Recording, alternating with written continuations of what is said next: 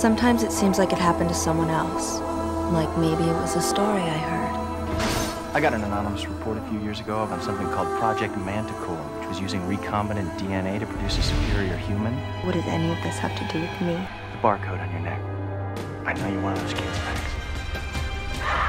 From James Cameron, writer director of Terminator and Titanic. You got a bad attitude.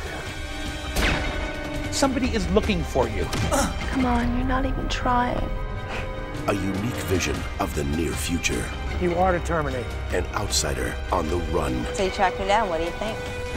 Probably the most singularly beautiful face I've ever seen. Searching for answers to the mystery of her past. I know who you are, and I know who you're running from. So now it's back to the law of the jungle. Predators and victims. And you still think you can do something to change that? With your help. Dark Angel.